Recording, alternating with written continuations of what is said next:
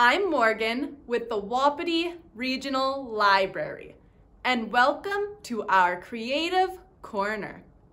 Today, we're going to be making duct tape crafts. If you don't have any duct tape at home, you can check Walmart or Dollar Tree. They usually have a bunch of colors to pick from.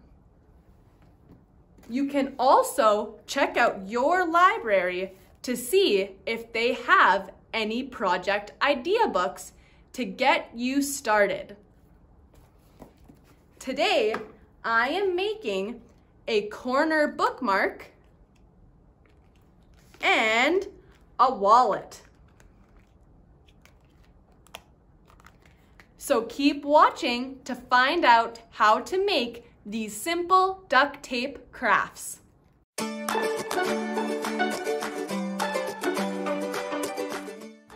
You will need a non-stick surface, two two and a half inch squares, a pair of scissors, and duct tape. Take one of your squares and cut it in half diagonally. Keep one half. Cut a piece of duct tape and lay it diagonally across the square piece. Do the same with the other half. Flip it over and fold down the corners.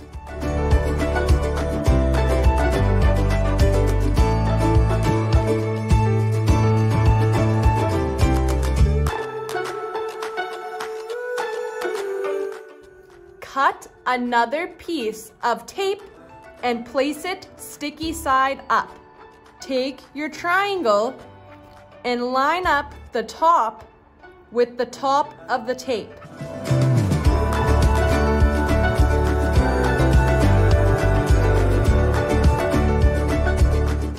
There should be a strip along the bottom. Fold that up.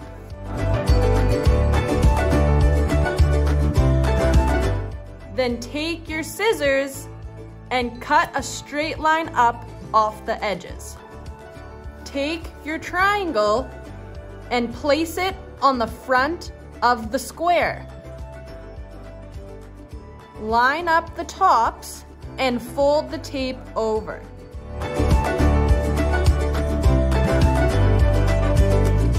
Your bookmark is now ready.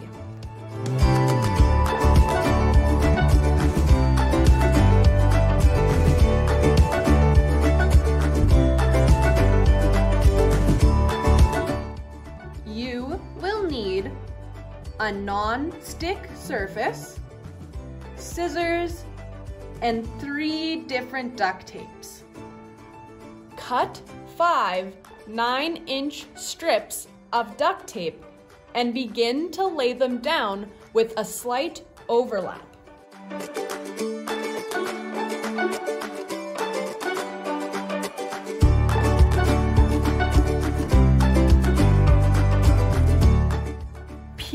Off the tape and flip it over.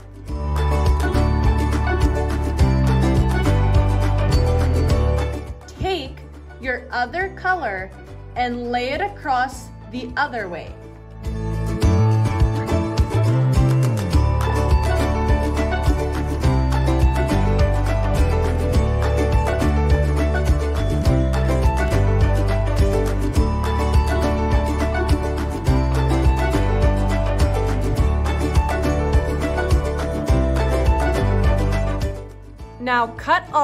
The extra around the outside.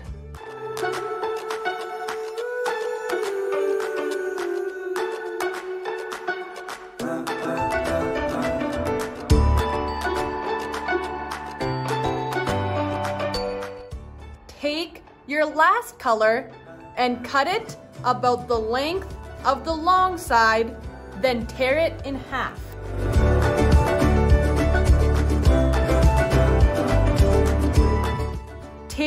Piece and place it on the top. Flip it over and fold it.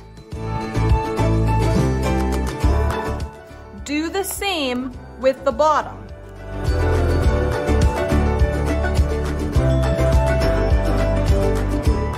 Cut off the extra.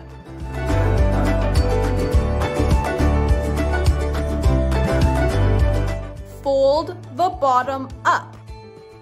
Leave a slight gap on top.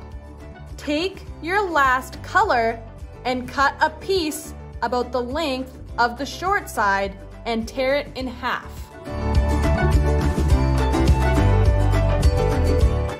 Place it on the outside and fold over. Do the same on the other side. Cut off the excess. Now fold your wallet in half. It's ready to go. There are so many different things that you can make with duct tape. So don't be scared to try some new ideas. Thanks for coming, and I hope you join me at our next Creative Corner.